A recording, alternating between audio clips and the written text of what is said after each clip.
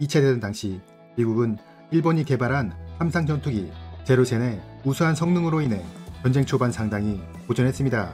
제로센의 뛰어난 기동성과 상승 속도 그리고 긴 항속거리에 미군 조종사들은 보존을 면치 못했으며 이러한 제로센을 상대하기 위해 그들은 서둘러 성능을 강화한 벨켓을 개발해야 했습니다. 전쟁이 끝나자 미국은 일본이 다시 대기하지 못하도록 그들의 항공산업을 마살하는 정책을 펼쳤지만 이러한 정책은 국제 정세의 급변으로 인해 그리 오래가지 못했습니다. 냉전이 시작되자 일본은 소련과 중국을 상대하기 위한 전초기지로 부상하였고 이러한 일본의 역할은 한반도에서 전쟁이 발발하게 되면서 더욱 강화되었습니다. 당시 모든 것이 부족했던 한국을 지원하기 위해선 막대한 군수 물자가 필요하게 되었는데 이러한 물자들을 미국 본토에서 태평양을 건너 나르기에는 거리가 너무 멀었던 것입니다. 따라서 미국은 일본의 산업을 다시 부흥시켜 전쟁 수행을 위한 군수 기지로 활용하려 했고 이에 따라 일본은 항공 산업을 다시 발전시킬 수 있는 기반을 마련하게 되었습니다.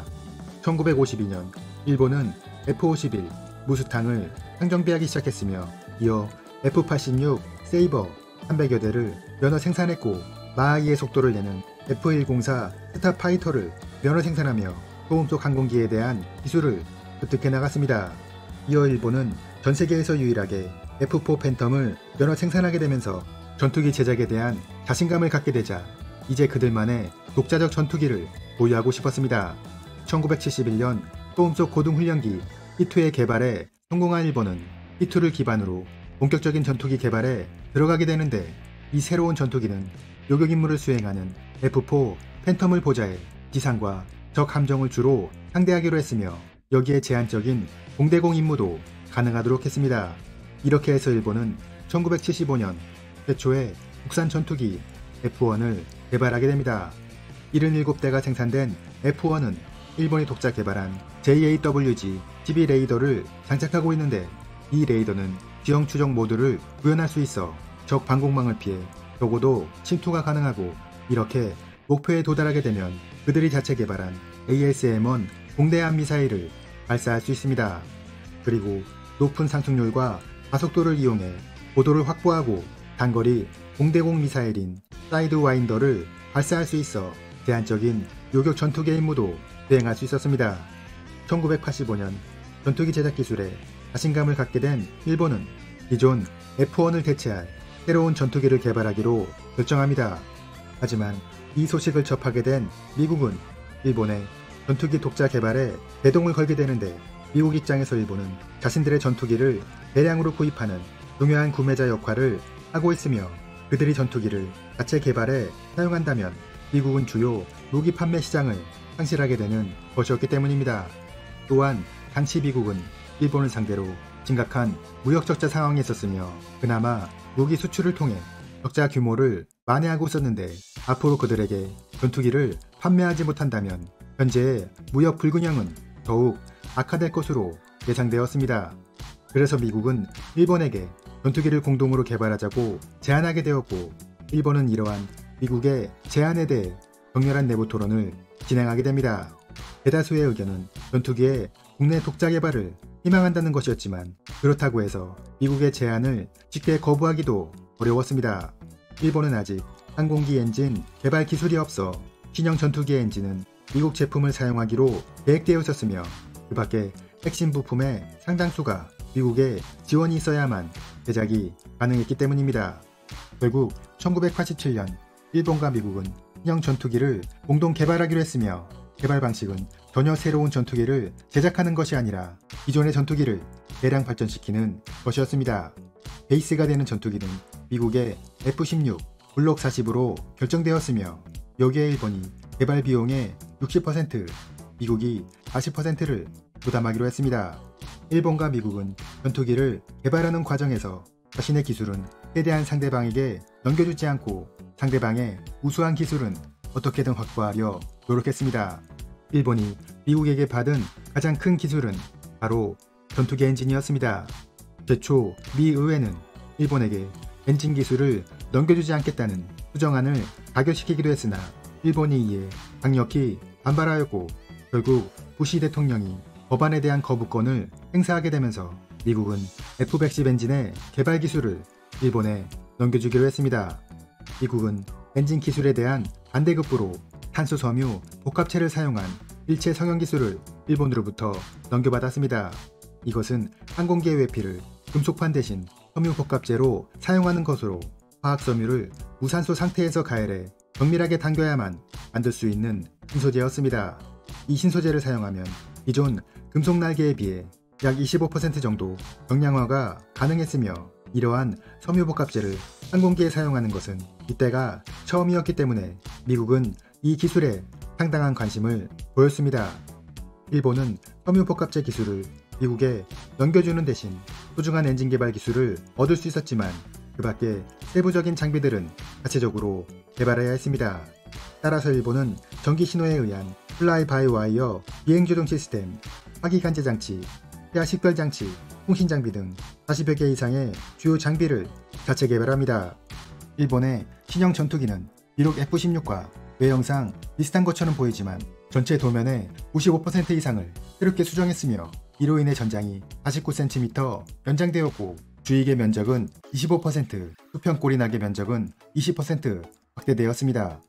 스텔스 기술을 적용해 F-16보다 적은 레이더 반사 면적을 보이며 단속 낙하산을 장착해 착륙거리를 줄였습니다.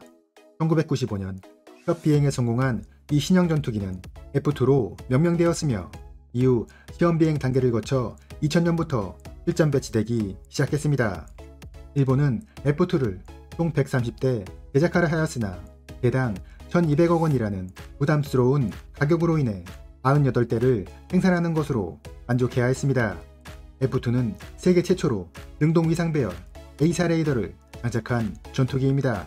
미쯔비시 전기에서 개발한 이 레이더는 800여 개의 소자로 이루어져 있고 10개 이상의 목표를 동시에 추적할 수 있으며 공대한 모드에서는 185km 전방에 목표물을 포착할 수 있습니다.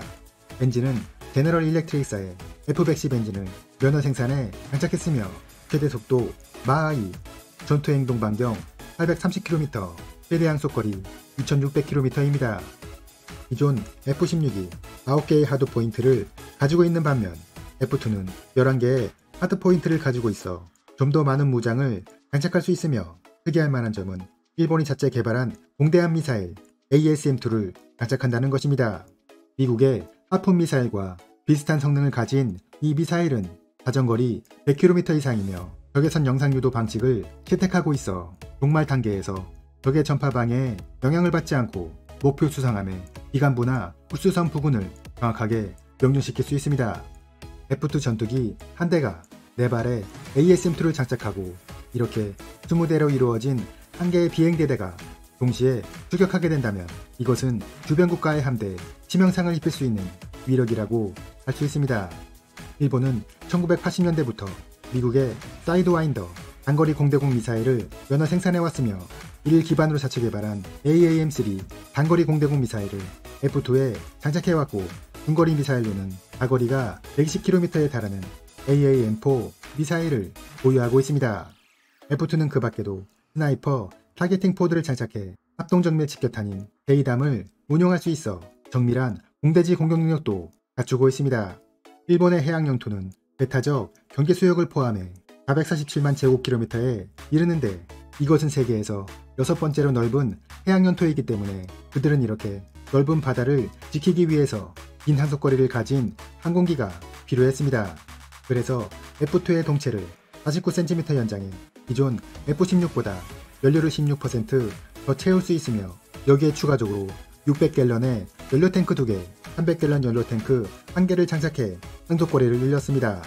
이렇게 긴 항속거리를 가지고 있는 F2는 한반도의 동해안은 물론 서해안에서도 작전이 가능하며 남쪽으로는 대한해협을 작전권 안에 두고 있습니다.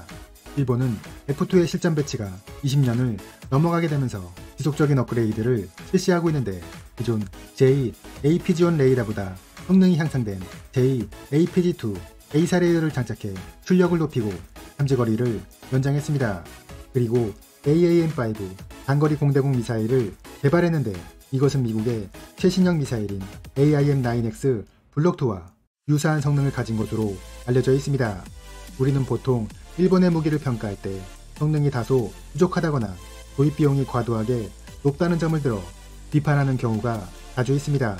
하지만 그들은 당장 전쟁의 위험이 없기 때문에 무기를 대량으로 도입할 명분이 없어 개별 도입 비용이 상승할 수밖에 없는 상황에 놓였을 뿐이며 그럼에도 불구하고 일본은 막대한 국방비를 투입해 자체적인 무기 개발 기술을 계속 확보해 나가고 있습니다.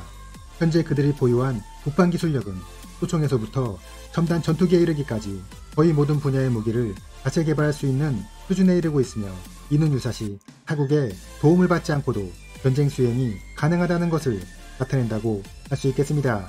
F2는 비록 미국의 F-16을 모델로 개발된 전투기이지만 엔진과 레이더 그리고 각종 장비와 무장까지 일본인들의 손을 통해 만들어졌으며 유사시 이러한 전투기가 수백 대 생산된다면 어떠한 강대국도 일본의 영에 쉽게 들어가지 못할 것으로 예상됩니다. 이상으로 일본 항공자에 대해 전투기 F2였습니다.